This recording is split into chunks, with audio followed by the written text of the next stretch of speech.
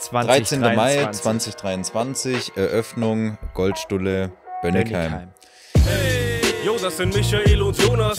Und die beiden liefern frischen Wind mit ihrem Podcast. Und was kommt hier vor? Ja, zum Beispiel Gear Talk. Kamera und Tontechnik, vielleicht auch über Bierpong. Über die Medienbranche und den Alltag eines Fotografen. Jonas und Micha passt zusammen, so wie Boot und Hafen. Reden von Selbstständigkeit, sicher sind auch Gäste dabei. Von Kundenstories können spannend und auch lächerlich sein.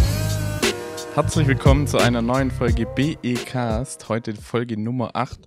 Oh, mir fällt hier schon das Mikrofon direkt am Anfang um. Diesmal randaliert Jonas. Servus. Und ähm, hi Michael. Hallo Jonas. Wir haben es geschafft. Zwei Monate haben wir jetzt den Podcast schon. Und heute haben wir ein kleines Jubiläum mal wieder. Abgesehen von den zwei Monaten, die wir jetzt schon überstanden haben. Heute sind wir nicht zu zweit, auch nicht zu dritt, sondern heute sind wir zu viert. Yay! heute haben wir zwei Gäste hier. Stellt euch doch einfach mal kurz vor, wer seid ihr? Wie kommt's? ja, ich bin einmal der Patrick Jos. Ähm, wir und der Jason Smith, genau. Äh, wir betreiben ab dem 13. die Goldstulle in Bönnigheim, also ein kleines Restaurant. Soll dann so ein kleines Szenelokal werden, genau. Genau, und wir kennen uns schon länger. Du arbeitest ja hier auch am Curry und so haben wir uns auch kennengelernt. So sieht's aus. Und Jason kam dann auch noch dazu über yeah. dich. der hat uns tatsächlich damals auch ein bisschen Sachen transportieren geholfen hier beim Einrichten vom neuen Studio.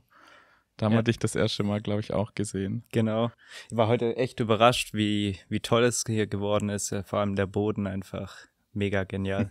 Genau, und dann haben wir noch eine dritte Premiere. Heute gibt es Bier im Podcast. Das ist eigentlich der Grund, warum ich dabei bin. ja, also erstmal hier zum Wohl. Ach so, ja, genau.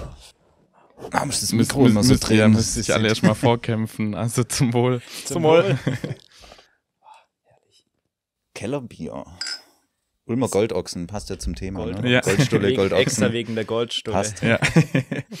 ja, heute wollen wir einfach mal so ein bisschen reden ähm, über euer Lokal. Zum einen, wie das, also ihr seid da jetzt gerade ja noch in der finalen Planungsphase und wollen einfach das Thema mal so ein bisschen anreden. Wir hatten schon mal jemanden da, wo wir auch so ein bisschen über das Thema Selbstständigkeit und so geredet haben und da wollen wir jetzt einfach mal ein bisschen mit euch auch in Sicht auf eine Öffnung von einem Restaurant so reden. Genau. Sehr Leg gerne. doch gerne einfach mal los. Ja. Wie seid ihr dazu gekommen? Und genau. Ja, ähm, eigentlich wie es äh, wie es so oft ist. Ähm, der Patti hat äh, eine andere Arbeit, ich habe eine andere Arbeit, aber wir haben schon immer gesagt, okay, es wäre voll mega geil, einfach mein eigenes Restaurant zu haben. Haben das äh, nicht wirklich aktiv, würde ich sagen, verfolgt. Und dann war es letztes Jahr im ich glaube, es war im Oktober, sowas. Ähm, ich glaube auch, ja. Ja, sind wir durch Bönnigheim durchgelaufen, haben gesagt, jetzt wäre der richtige Moment für, für ein Restaurant. Und Patti hat auch gemeint, ja, jetzt wird es passen. Und ich glaube, eine Woche später oder so haben wir dann mitbekommen, dass ein Restaurant in Bönnigheim abzugeben ist. Und wie es halt oft ist, man redet drüber und auf einmal kommen die Sachen auf einen, auf einen zu. Und ähm, ja, an für sich war es eigentlich nicht ganz der richtige Moment, weil bei mir stand eine größere Reise an von drei bis vier Monaten ins Ausland gehen und dann direkt davor noch irgendwie ein Restaurant übernehmen, war ambitioniert. Aber ja, man muss die Chancen dann nehmen, wenn sie kommen. Cool. Ja, was soll ich dazu noch sagen? Also er hat alles so erklärt, wie es äh, es war. Aber ja. eigentlich war es eine Whisky-Idee. Also wir hatten einmal ein bisschen zu viel Whisky, genau, ähm, und dann haben wir entschieden, ein Restaurant aufzumachen. Aber ganz ehrlich, dann entstehen immer die besten Ideen. Also das war. So das aus. stimmt. Also. da kommt man auf die besten Ideen. absolut, absolut.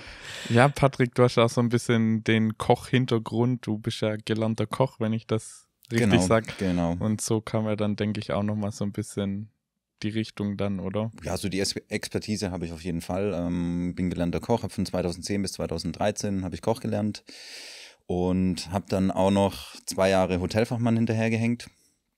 Wollte eigentlich mal in die Food and Beverage Schiene, ähm, aber es war dann irgendwie von den Arbeitszeiten her, hat sich das irgendwie ein bisschen gebissen. Okay. Ein Privatleben oder auch nicht.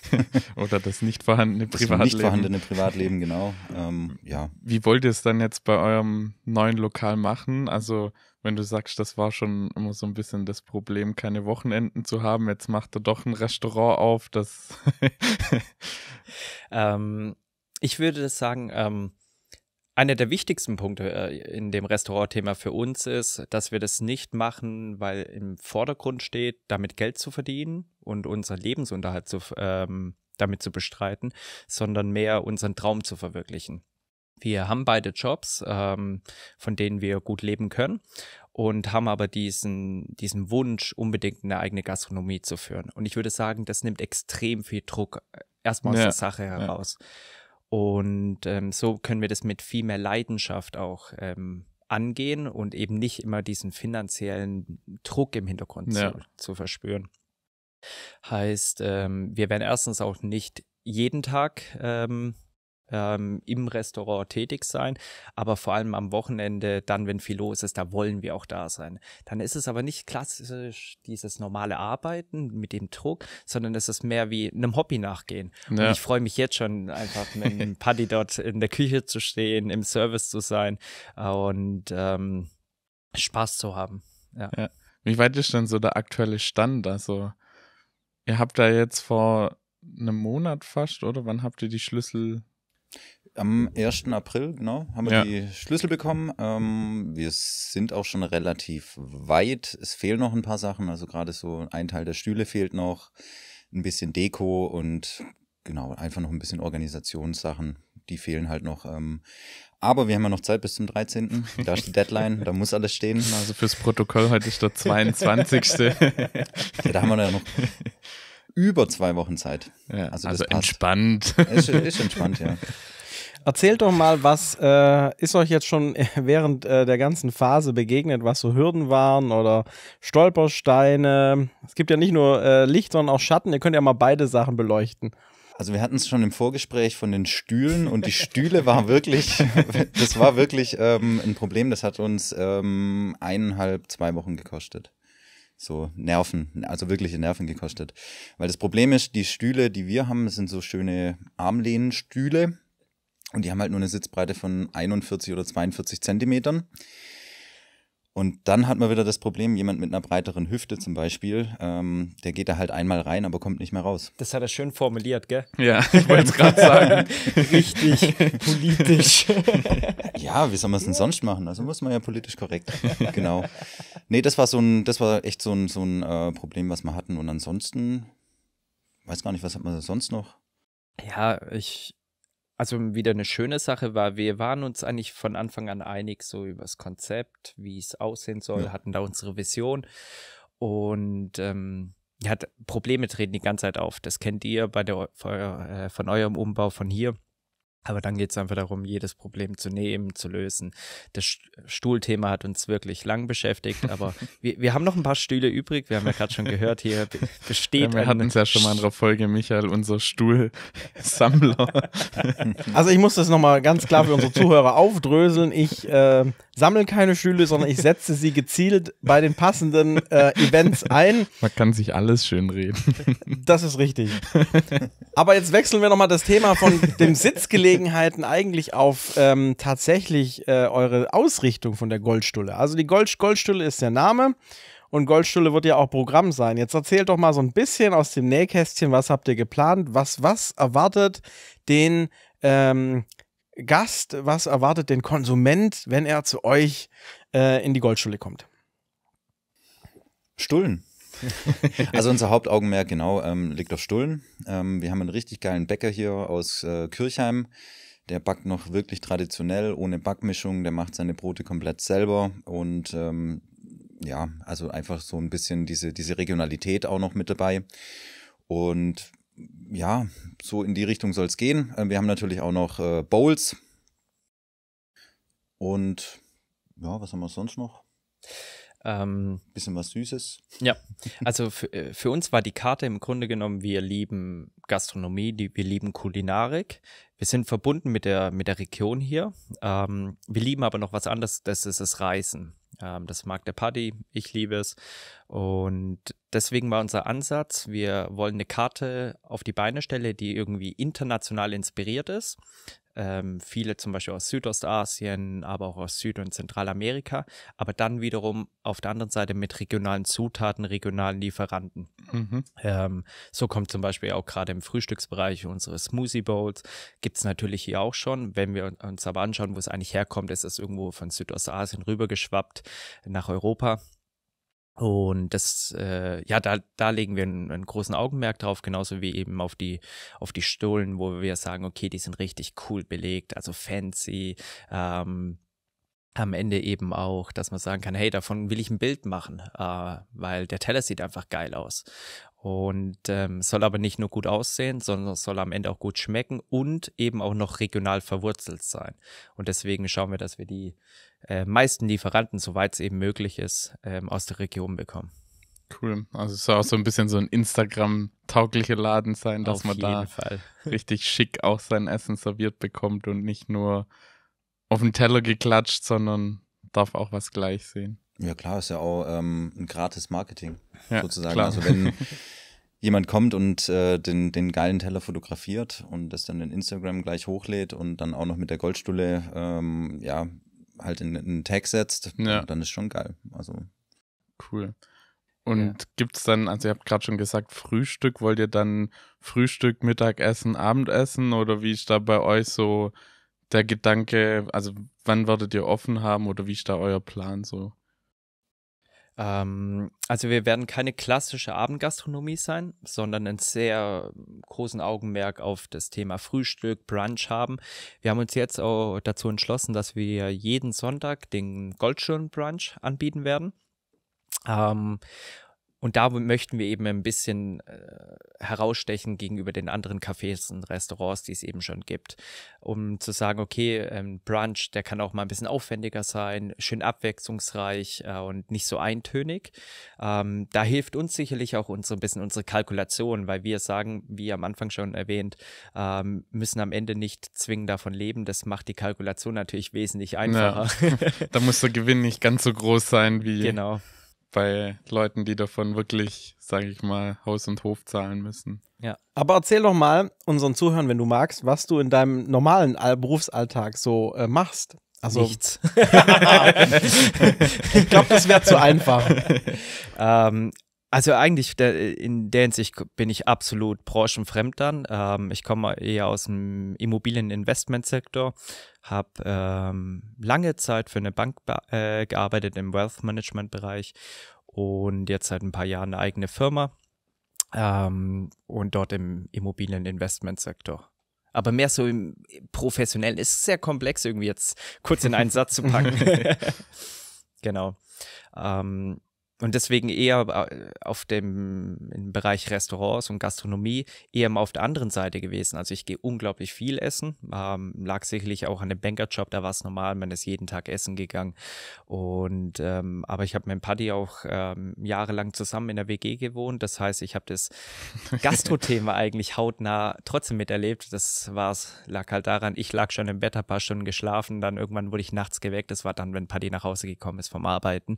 Und ähm, ja, ähm, trotzdem, wir haben immer viel zusammen gekocht. Also wir, ich glaube, wir lieben beide das Kochen, das Genießen. Und äh, für uns ist es auch irgendwie ja eine, eine, eine, eine kurze Auszeit, wie ein Kurzurlaub. Ähm, und das denke ich, sollte das Ziel von einem Restaurant sein, dass man kurz im Alltag entfliehen kann, ähm, genießen kann, gedanklich ein bisschen äh, abschweifen kann. Genau. Aber ihr seid ja nicht nur zu zweit, ihr habt ja noch einen dritten Kamp Kompagnon im Bunde. Was ist denn seine Aufgabe oder wer ist das? Wir können den ja kurz mal umreißen. Wir haben jetzt hier leider nicht direkt sitzen. Der musste arbeiten. Ja, irgendeiner muss es tun, ja. Ja, also das ist der, der Georg. Der, der Georg betreibt momentan das äh, Hüftgold in, in Bönnigheim. Ist auch ein Frühstücksrestaurant. Ist auch ein bisschen fancy eingerichtet, alles schön in Pink und ja, und Name ist Programm Hüftgold, schön viele Torten und sonstiges. Und ja, da es ein guter Freund von uns ist und wir in Bönnigheim halt was aufmachen, ähm, ja, hätte ich gesagt, nehmen wir den mit ins Boot. Sehr cool. Ja. Ja, ähm, ich, ich denke, dadurch entsteht auch eine ganz coole Symbiose, Ja. äh, weil wir haben hier mit, mit dem Paddy wirklich jemand, der sich mit der Gastro auskennt, auch von der Fachexpertise her. Gelernter Koch, gelernter Hotelfachmann, ähm, hat wirklich eine fachliche ähm, Eignung. Der Georg hat, ähm, ist der Älteste in unserem Bunde, ähm, hat ein bisschen mehr Lebenserfahrung, ähm, betreibt auch schon lang eben die äh, sein, sein Café, kennt dadurch gute Zeiten, schlechten, äh, schlechte Zeiten, er ist durch Corona durchgegangen, was für jeden Gastronom eine super schwierige Zeit war. Und ähm, ich würde sagen, okay, was mache ich jetzt dann? äh, ich ergänze dann das Team auf der Seite, wo, glaube ich, viele Gastronomen ein bisschen eine, eine Schwäche haben. Ähm, das ist die betriebswirtschaftliche, kalkulatorische, planungstechnische Seite. Ähm, und ähm, ich denke, das ist ein mega Team einfach, äh, wo wir uns super ergänzen können. Da stehen mal Diskussionen, was, was wichtig ist und dadurch kommen wir weiter. Ja, und jeder bringt nochmal so einen anderen Blickwinkel, sag ich mal, mit rein. Genau. Ich finde es mega cool, dass ähm, ihr drei mit dem Jason dann, also als dritten oder als ersten oder wie rum man das so formulieren möchte, doch, doch, jemanden im Boot habt, der ähm, ja mit Zahlen umgehen kann. Weil das ist tatsächlich, glaube ich, für viele, äh, jetzt, wenn unsere Zuhörer, äh, äh, da, wenn da jemand dabei ist, der sagt, er möchte sich selbstständig machen, das ist für viele ja ähm, gar nicht überschaubar, dass man äh, unternehmerisch denken muss auch wenn man jetzt sagt, okay, die Gewinngeschichte, äh, wie ihr schon gesagt habt, das ist ein Passion-Projekt, das ist jetzt nicht die Zielvorgabe, damit jetzt äh, reißende Absatzzahlen äh, zu generieren oder dass man jetzt äh, einen haargenauen Businessplan hat, den man, äh, wo man sich durchhangelt, aber es ist trotzdem wahnsinnig wichtig, jemanden im Boot zu haben, der äh, so denkt oder zumindest mal dieses Denken, für, für den das im Alltag Routine ist. Ich will kurz da mal ausschweifen, weil es einfach uns sehr ähm, ähm, schon von Stunde Null an in unserer Selbstständigkeit beschäftigt hat. Und zwar dieses Thema, als wir bei der Unternehmensberaterin waren und diese Frage gestellt haben, unsere Unternehmensberaterin bei der Handwerkskammer damals, ähm, warum fährt der Pizzabäcker ähm, im ersten Jahr seinen dicken BMW, im zweiten Jahr auch noch, im dritten Jahr hat er kein BMW mehr und kein Restaurant mehr und ist pleite. Da gibt es dann dieses magische Wort Einkommensteuer oder dieses magische Wort äh, Steuervorauszahlung. Alles so Sachen, die mit Zahlen zu tun haben. Und ähm, wenn man das nicht im Blick hat, äh, dann kann es einen ganz schnell wieder von der Bildfläche entfernen. Und deswegen äh, beende ich jetzt meinen ausschweifenden ähm, Kommentar dazu, aber wollte es einfach nochmal ähm, so in die Runde schmeißen. Ja, das ja. stimmt absolut. Ah, da entstehen auch mega lustige Diskussionen. Das ist, äh, ich also ich genieße es auch. Das ist dann, äh, nehmen wir einen Georg, der sagt, okay, komm, ich will das noch kaufen und das und das. Und äh, dann hole ich meinen Laptop raus, pack's in die Kalkulation und sag, ist nicht. ja, ähm, aber das ist irgendwie auch toll, weil jeder hat so seine Stärken und ähm, ähm, ich denke, das macht es am Ende dann auch aus, also dass jeder so genau. seinen, seinen Hauptschwerpunkt hat oder von dem, wo er sich gut auskennt und dann ergänzt man sich, wie du vorher schon gesagt hast. Ja, Patrick, dann würde ich dich mal noch fragen, was machst du denn so neben dem, äh, neben eurer ähm, Goldstulle? Wir haben in äh, Löchgau, also ich betreibe mit meinem Vater zusammen den Kercher Storios. Ähm, ja, Name ist Programm, also alles, was die, die Reinigungstechnik hergibt, äh, machen wir. Wir ähm, vertreiben nicht nur, wir machen auch Reparaturen, wir fahren zum Kunde, wir ja, also ein Allround-Service für den, für Firmen, die halt die, die Reinigung brauchen. Genau, und dazu genau. bist du gekommen wegen besseren Arbeitszeiten oder also unter, unter an, anderem, anderen so. ich sag nicht besser, anderen Arbeitszeiten wie in der Gastronomie. Ja, sind schon Oder? bessere Arbeitszeiten, so ja. muss man schon sagen. Also man hat die Feiertage frei, ähm, Wochenende frei, man hat sein, seine normalen Stunden, die man arbeitet am Tag und einen besseren Verdienst. Also von dem man kann es eigentlich nur, ja, man kann eigentlich nur gewinnen dadurch. Außer man arbeitet bei der Goldstulle, dann sind die Arbeitszeiten toll. So und der Verdienst aus. ist auch gut. Also. Ja. Also falls ähm, und die Zuhörer hier noch jemanden kennen, der gerne im Service arbeitet, wir suchen noch. Gut. Also, also wenn einer von euch Lust hätte. Genau. Äh, ja, du. Also ich weiß nicht, ob es bis zum Kunden ankommen würde. Ich denke, das vernichte ich dann schon in der Küche. Das wäre nicht sinnhaft. Ich glaube, ich würde sehr schnell rausfliegen bei euch. Ja, das glaube ich nicht. Also wenn du das jeden Tag um dich, um dich rum hast, wenn du das mal zwei Wochen machst, dann hast du da auch keine Lust mehr drauf. Ja, okay. Also jetzt noch für unsere Zuhörer nochmal äh, zu der Kennenlern-Story, zu dieser romantischen Kennenlern-Story, wie wir den Patrick kennengelernt haben. Es gab dann mal zwei Jungs plus Anja, äh, die ein Studio in Löchgau übernommen haben, das, ähm, ich nenne es mal gelinde gesagt, äh, leicht versifft war und äh, auch spezielle Böden, spezieller Dreck und ich habe sehr viel gelernt von Patrick. Der hat dann einfach mir erzählt oder uns erklärt, so, ja, Dreck äh, schichtet sich immer Schicht für Schicht auf. Also ich erzähle es jetzt mal sehr laienhaft. Und man muss halt auch Schicht für Schicht den Dreck wieder runternehmen. Ich mache die Kurzversion. Wir haben einfach ein Gerät gebraucht, um diesen ganzen Bums sauber zu machen. Und äh, sind dann sehr schnell übers Internet auf den Kerchhoff Jos gestoßen. Und dann in dem Fall auf den Patrick, der dann auch sehr schnell erkannt hat, okay, die haben keine Ahnung, die brauchen Hilfe. Da hat uns erstmal ein kleineres Gerät äh, gedacht, das würde damit funktionieren. Äh, nach einer Stunde kamen wir wieder und dann gab es ein größeres Gerät. Und dann kam auch El Chefe selber vorbei und äh, hat uns gezeigt, wie das funktioniert. Ja, aber es hat, hat ja dann am Ende ganz gut funktioniert. Absolut. Also der Boden war, ähm, ist dann von grau wieder schön in das Weiße rein. Ja. Also von dem her hat alles gepasst. War geil. Das Gerät gab es sogar noch umsonst. Also von dem her, weil er ja neu gegründet hat, gab es Gerät noch umsonst mit dem Reinigungsmittel. Das passt perfekt. Genau, und dann, dann gab es eigentlich im Prinzip ähm, dann eine gewisse Zeit, die dann so ins Land ging. Jeder hat so sein Ding gemacht und dann kam das magische Wort BNI. Du kannst ja gerne dazu auch noch was erzählen. Ja, das Business Network International, genau, ähm, ist ein Unternehmertreffen jeden Donnerstag. Da sind verschiedene Sparten unterwegs. Das heißt, da ist zum Beispiel ein Anwalt, ein Elektriker, dann hat man wieder einen Heizungsbauer, dann einen Unternehmenscoach und so weiter und so fort. Und da haben wir uns eigentlich wirklich, ähm, ja, sagen wir mal, besser kennengelernt. Du hast uns dahin geschliffen. So. Ja, ich habe hab euch gezwungen, dahin zu gehen, genau. Patrick hat angerufen, ja, hättet ihr da nicht Bock drauf? Und Bitte. Ja, warte, warte. Bitte, ich muss da jemanden mitbringen. Das ist halt meine letzte Rettung. ich ich, ich, ich äh, habe betend gekniet ähm, in meinem Büro, genau, wo ich euch angerufen habe. Und dann haben wir gesagt, ja. okay, wenn, wenn, wenn der Patrick schon so lieb fragt. Es nee. gab ein Frühstück umsonst, glaube ich, richtig? Ja, stimmt, beim ersten Frühstück ja, hat er uns eingeladen. Zwei, also von ja. dem her passt. Ja, Stimmt, ja. Ja. so sieht's aus. Ja, und dann waren wir auch ein Jahr lang mit im BNI, haben da auch coole Leute kennengelernt. Absolut. Und ja. Und dann war es zeitlich nicht mehr möglich. ja, dann kam bei uns Neckars Ulm unser zweites Studio dazu und so. Und dann war es für uns einfach zeitlich nicht mehr möglich, da jeden Donnerstagmorgen anzutanzen. Aber so an sich war es schon auch eine coole Zeit. Absolut. Ja, man lernt halt da wirklich ähm, verschiedene Menschen kennen. Das finde ich halt äh, ganz cool. Ja, das Coole ist halt, ja. dass man wirklich von jeder Sparte ist einer dabei. Also ja zumindest jede Sparte, die dann halt in dem Moment besetzt ist, aber es ist auf jeden Fall schon cool, wenn dann einfach verschiedene Leute sind, nicht nur Fotografen, nicht nur Videografen oder nicht nur Reinigungsleute da, sondern es ist von jedem Zweig, den es so, sag ich mal, auf der Welt gibt oder so in der Region jemand dabei. Boah, ich glaube alles nicht. Das, ja, aber das, so. Dann, dann wären wir zu groß.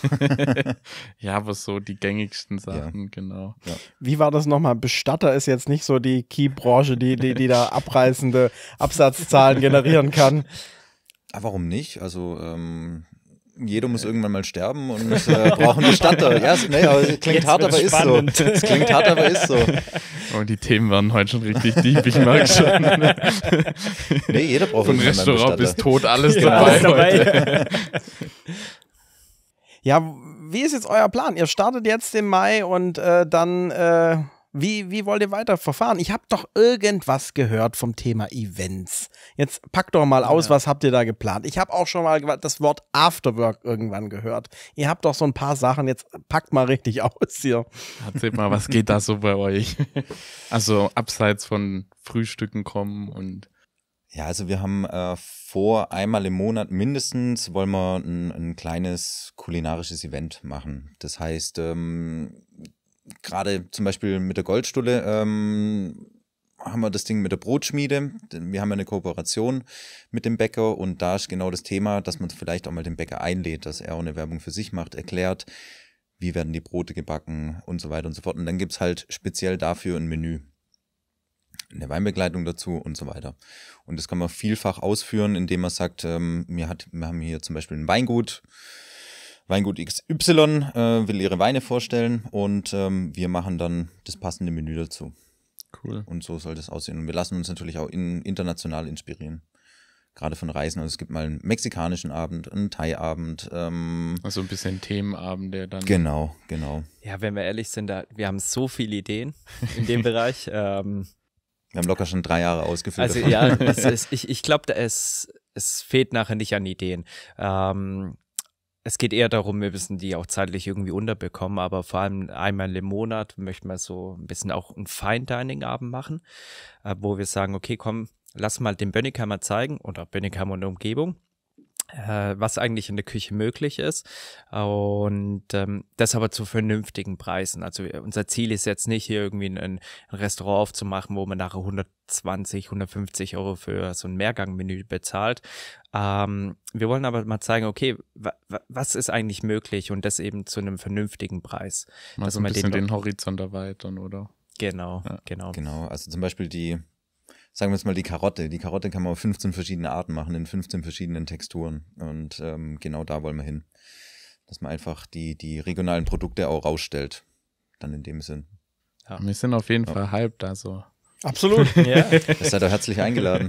mich hätte noch, ich habe noch eine Frage, die mich brennend interessiert. Wie hat denn euer Umfeld reagiert, als dann mal so irgendwann der Groschen gefallen ist? Okay, der Traum, den gab es ja schon immer. Also es gibt ja so, jeder hat so seine eigene Bucketlist oder so äh, Löffelliste oder wie auch ja. immer, wo man dann sagt, okay, ich möchte, keine Ahnung, nackt auf Mount Everest stehen oder so. Also es ist jetzt nicht mein Wunsch, aber ein bisschen kalt da oben. Aber keine Ahnung, dass man sagt, okay, ihr, ihr habt jetzt den Traum gehabt, ihr wollt Wie kalt? Ich, so kalt. jeder hat sich Stopp. vorgestellt. Stopp. ja, auch also. Punkt, Bei jedem Kratz im Kopf. Ich auch. Nee, warte mal, kalt. Punkt Nummer eins hier im Podcast, das muss ich jetzt mal ganz klar ansprechen. Leute, die jetzt hier auf YouTube zugucken. Patrick, Jason und ich haben normale Mikrofone. Warum hat Jonas den größten? Warum ist das so? Hier sind tiefgängige Sachen am Werk. Die will er uns bloß nicht verraten. Also gehen wir, gehen wir nochmal auf meine Kernfrage ein, die wir jetzt. Holt euch mal vier Mikrofone, I'm sorry. Irgendwie muss man dann halt sich mal rumprobieren. Ja, sagt der mit dem größten Mikrofon. Also gehen wir mal auf das Kernthema ein, ohne dass Jonas jetzt immer den größten hat, sondern gehen wir auf das Kernthema ein. Wie hat euer Umfeld reagiert? Boah, das sind schon echt bittere sprachliche Bilder. Jonas hat den größten und der eine steht nackt auf dem Mount Everest. Mit dem kleinen. Mit dem. ja. Sehr kalt. Ja, ja. Heute mal ein bisschen eine lustigere Podcast-Folge. ähm, also meine, äh, ich war gespannt bei meinen Eltern, aber da war es mehr so, ja, finden wir richtig cool, du, du, du hast Bock da drauf und mach das. Ich glaube, sie waren abgehärtet, ähm, ja, wo, wo ich damals noch bei der Bank war, gekündigt habe, gesagt habe, ich baue eine eigene Firma auf. Dann kam eine nächste Firma dazu, nochmal eine. Ähm, dann war das dann ja mehr so, okay, der macht es schon. ähm, aber sonst das Umfeld war gemischt. Ich, ich glaube, viele gehen davon aus, dass man äh, oder wollen einen Scheitern sehen. Ähm, okay. Das ist, glaube ich, egal was man macht. Ähm, solche Menschen gibt es immer. Sollte man als Motivation sehen, es eben doch zu schaffen. Ähm, aber sonst waren echt, bei mir muss ich sagen, wenig Überraschungen. Bei dir? Eigentlich auch nicht. Also meine Frau äh, war hat gemeint, ja, coole Idee, macht er. Meine, meine Mom war auch überzeugt, mein Dad war noch so ein bisschen, bisschen zwiegespalten, ähm, natürlich wegen dem, wegen dem anderen Teil vom Geschäft. Aber mittlerweile muss man sagen, ähm, feiert das auch, genau. Spätestens, wenn er dann mal zum Frühstücken bei euch sitzt. So sieht's aus. ja, nee, also das war eigentlich echt recht entspannt. Ähm, und also wir, wir merken jetzt auch die Unterstützung. Also Freunde fragen, hey, können wir irgendwas helfen? Ähm, ähm, bisher musste man noch nicht groß darauf zurückgreifen. Wir machen viel selbst, ähm, haben ein paar Handwerker natürlich, ähm, weil von innen wird wirklich alles komplett umgebaut, ähm, Stühle neu, deswegen wir haben ein paar äh, Stühle übrig, die bringt man natürlich dann hierher vorbei. Ist gar kein Problem. Und ähm, ja, also es macht mega Spaß. Ich habe nur eine Kamera neu gestartet, keine Sorge, alles uh. läuft weiter. Ich habe schon gedacht, was macht er jetzt? Er steht auf. Geht er jetzt aufs Klo? Ich wollte jetzt auf Mount Everest. Ab und zu macht er das. Aber mit, mit, dem Großen wollte er dann mal zeigen. Ja, okay. okay. Also total, äh, total spannend, aber okay, also gab es auch irgend so ein Feedback oder sowas? Also klar, die Leute wollen einen Scheiter. Ich glaube, das ist aber in dieser ganzen Selbstständigkeitsnummer, ich weiß nicht, wenn du schon ein paar Firmen gegründet hast, dann wirst du ja immer dieses, ähm, diese Skeps die anfängliche Skepsis und man hat ja selber irgendwie dann Euphorie da drin und ja, okay. Ich hab, ähm, ich bin gespannt, wie es, äh, wie es dann, wie es dann, die Realität wird es ja dann zeigen, wie es, wie es mhm. rüberkommt. Ist jetzt, jetzt natürlich mal was ganz anderes, so eine Gastronomie, ähm, hat ganz andere Tücken, die man bewältigen muss. Ähm, ansonsten ist ja, es gibt so ein paar Grundthemen, die ist bei jedem Unternehmen eigentlich gleich. Also ob ich jetzt eine Investmentfirma aufmache, ähm, ein, ein, ein Fotogeschäft, äh, Marketingthemen, es gibt ein paar Grundthemen, die sind immer dieselbe. Und so hat eine Gastronomie eben aber auch ein ähm, paar Einzelheiten, die nur auf die Gastro zutreffen. Das macht auch mega Spaß. Man entwickelt sich weiter, man lernt jeden Tag. Das ist, also ich finde es geil. Sehr cool. Gibt's für den Eröffnungstag noch freie Plätze? Vor ein paar Tagen habe ich einen Post gesehen, wo es hieß, vereinzelt. Leute, vereinzelt gibt es noch Plätze. Wie sieht's aus? Er hat die äh, Programmübersicht hier. Äh. Ähm, also er hat die Reservierungsübersicht. Äh, er gibt ja auch nichts äh. ab, muss alles selber machen. Na, Nein, ja, okay, also am, am, Anfang am, schon, aber das kommt, ähm, das kommt, das kommt genau. ja, also am Eröffnungstag sind wir vormittags auf jeden Fall komplett ausgebucht. Am Nachmittag äh, ich, ein, zwei äh, Plätze sind noch frei. Ähm, aber klassisch, einfach vorbeikommen. Ähm, wir werden viel, viele Specials machen, wo wir die Leute ein bisschen überraschen wollen. Und ähm, am zweiten Tag ist ja der Muttertag. Äh, da sind wir tatsächlich am Vormittag oder bis zum, ja, bis so 14 Uhr komplett ausgebucht, machen den Muttertagsbrunch. Danach haben wir noch freie Plätze, freuen wir uns natürlich auf, über jeden Gast. Wir hoffen, dass gutes Wetter wird. Dann ja, können wir außen wir drücken die Daumen. Ja. ja. Und wir freuen euch auf euch natürlich. Ja, vielen Dank für die Einladung. Wir freuen uns auch mega, dass wir äh, fotografisch und videografisch für euch tätig sein dürfen. Äh, wie sieht's aus? Bietet ihr to go an? Das ist ja, wenn jetzt kein Plätzchen mehr frei ist und man doch Bock auf eine Stulle hat, kann man bei euch vorbeischneiden und man kriegt was auf die Hand? Ja, klar. Also äh, to go machen wir die Stullen, die Bowls, also je nachdem, was ihr wollt. Das mit der Hand übrigens.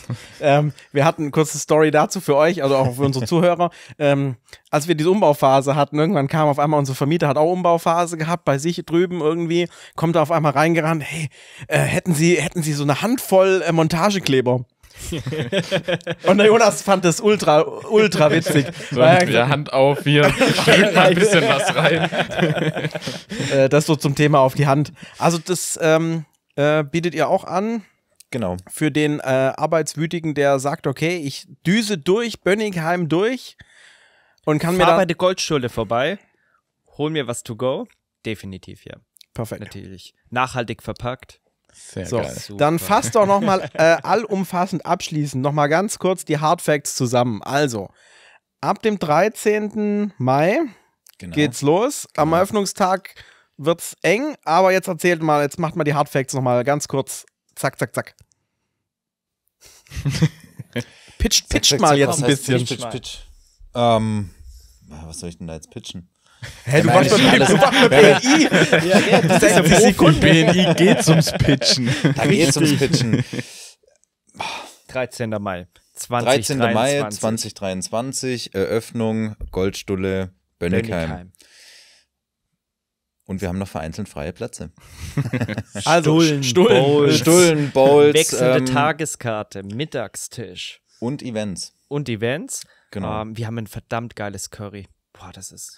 So, und jetzt ja. bin ich zufrieden. Jetzt habt ihr nämlich wunderbar gepitcht und wir haben jetzt alle Hard Facts nochmal gehört. Da kriegt man richtig Hunger. Also nur an die Leute da draußen. Wir sind morgen bei denen und sind da beim Probekochen und Essen dabei. Also wir sind hier. Also wir kochen nichts, sondern wir also, essen ja, nur genau. und wir machen ein paar Bilder. Paddy kocht. Der kann das auch. Ja, das sollte ich können, ja. Ich habe es immer irgendwann gelernt. also ich, ich habe schon mit Patrick schon einmal, schon ein, zwei Mal gekocht und äh, ihr habt noch keinen gesehen, der so entspannt äh, hinterm Herd steht wie die Paddy und der lässt sich da nicht aus der Ruhe kommen. Der sagt selber zu mir so, boah, wenn da, Michael, wenn da so 30 Bons oder so stehen, dann wird's spannend, dann, dann, dann wird er warm. So, das wenn da so geil. ein Schnitzelchen oder einmal, was haben wir zusammen, wir haben Kartoffelgratin zusammen gemacht, das, da, da gähnt der, das findet er langweilig. Das ist ja auch langweilig dann. Also wenn du wirklich ähm, in in der Gastronomie arbeitest und du hast ja dann 30 Bons hängen, dann ist das, dann ist das ein Stresslevel, ähm, das wurde auch schon mal wissenschaftlich bewiesen. Das ist wie ein, ein Kampfjetflieger, ist wirklich so. Also man diesen Druck vom Kampfjetflieger halt in den zweieinhalb, drei Stunden, wo du, wo du die Küche hast, hast du diesen, diesen Pegel. Und das macht halt richtig Spaß, weil das ist einfach nicht negativer Stress, sondern es ist positiver Stress. Ich habe gerade ein wildes Bild im Kopf, wie du in einem Kampfjet äh, irgendwelche Spiegeleier machst. Äh, Über Mount Everest Über fliegt. Mount Everest und dann guckt er runter und sieht da jemand, der nackt am Mount Everest steht und ihm zuwinkt. Mit einer Stulle in der Hand. Gut, und da gibt's auf dem Mount Everest noch ein paar Stühle und dann sind wir alle glücklich. Hammer. So. Hammer. Der Wahnsinn. So, der Wahnsinn. Großes Mikrofon, ne? Muss auch Großes nicht fehlen. Mikrofon, genau. Damit bedanke ich mich erstmal, dass ihr vorbeigekommen seid, hier eine Runde mit uns zu quatschen. Wir werden die ganze Sache auf jeden Fall wiederholen, wenn dann mal euer Restaurant steht.